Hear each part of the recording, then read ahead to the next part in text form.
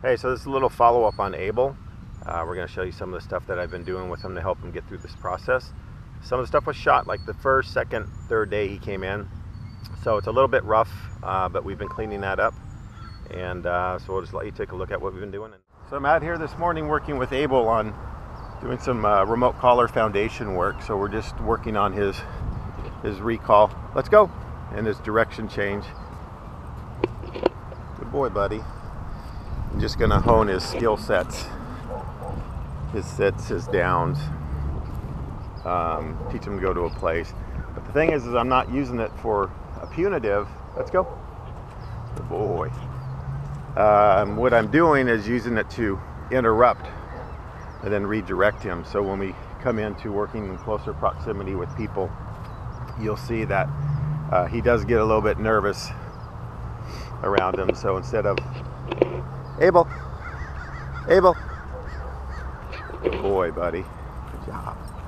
Uh, instead of uh, correcting him for actually doing the behavior, what I want to do is interrupt the precursor and then redirect him back to something um, better, which is to come back to me to sit.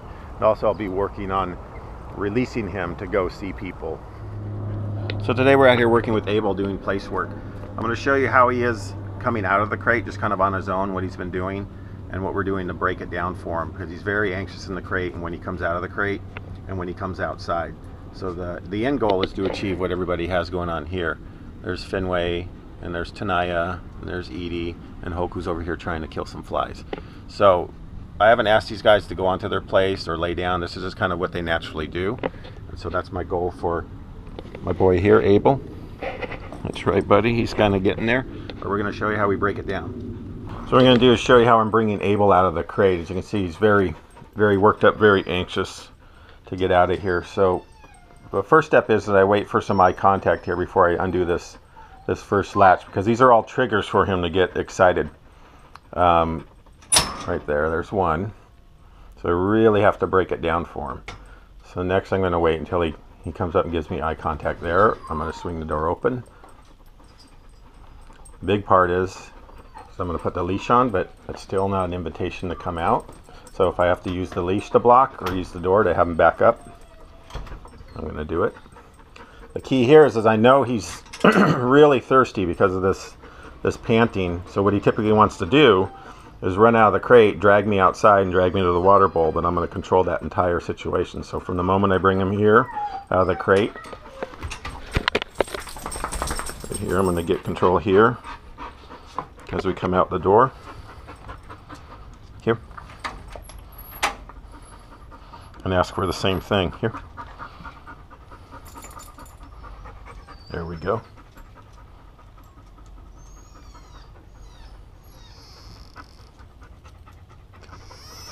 So I know he's going to want to drag me over to the water bowl. So what I'm going to do, bring him out. I'm going to take him to the place board. Place. Platz. Platz. Nope. Place. Place. Okay. Platz. Back up. Platz.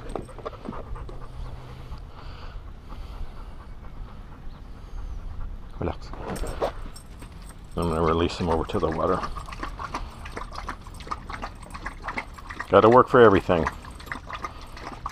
When it comes to feeding time, uh, he does this spinning in the crate every time I'm coming out with the food, and that's actually a cycle that's not good. That's something he was doing, uh, and he still will do uh, if he gets on somebody and he lashes out, and then he gets on somebody else and he goes after the next person. So you'll see when I'm uh, bringing the food out, um, I'm actually using the collar in a cadence style, not one tap, but I have a level that's set that's just appropriate for him. And what I do is I just do a rhythmic cadence, and then you'll see he comes out of that cycle and he'll lay back down in the crate. So.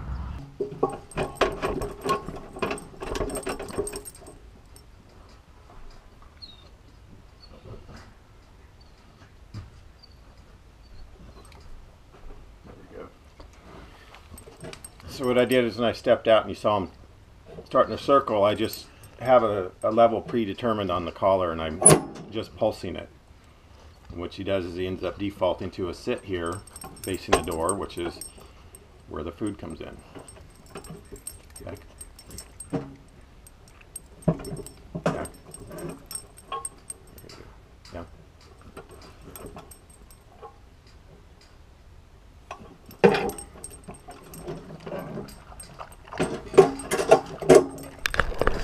So Able and I are on our way to a vet visit here. We had a little emergency, had a little fallout from his neuter, uh, which I picked up on this morning. Uh, he's only been in here for a couple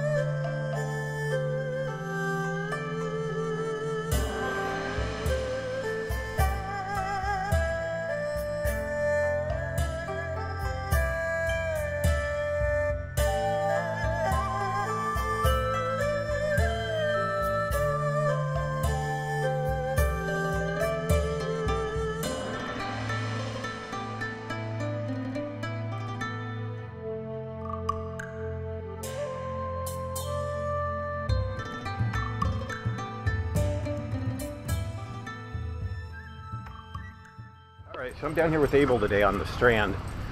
Awesome day. Be working a dog. Um, and there's Able. He's doing really well. So what we do is I ended up going with a slip lead on him and a figure eight over his muzzle is much um, more effective than the Halti. Um, Halti had too much slack in it.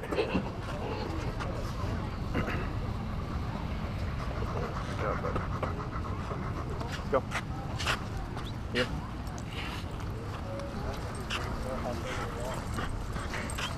Here. Good. Sit. Sit. Let's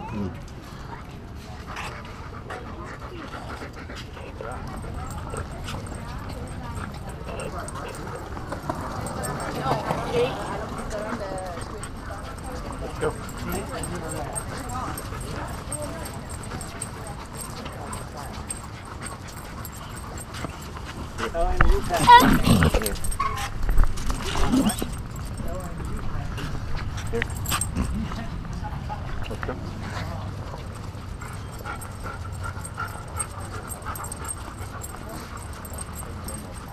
So that's pretty much my first week I spent with Able. Um, but I like to focus on a lot of the nuances, the uh, the crate, the feeding, the coming out of the crate, and obviously the vet visit was not expected, but we um, took advantage of it and worked him through that, and we're going to go back again.